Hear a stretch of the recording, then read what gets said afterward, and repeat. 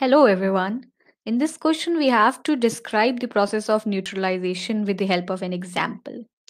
So, neutralization is a reaction between acid and a base. So, when this reaction occurs, the property of acid and base is lost. They both cancel each other's effect. That is why it is known as a neutralization reaction.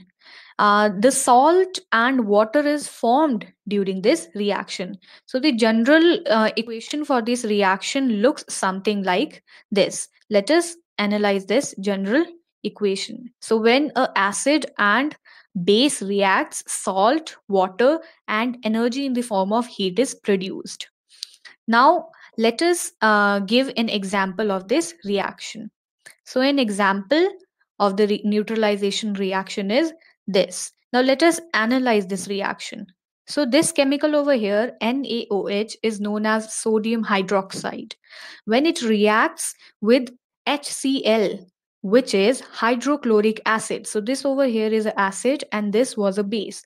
So when acid and base reacts, it gives NaCl, which is a salt, which is the salt we use in our daily lives. Then we have H2O, which is water, and some heat is released in this reaction. So this is example of a neutralization reaction.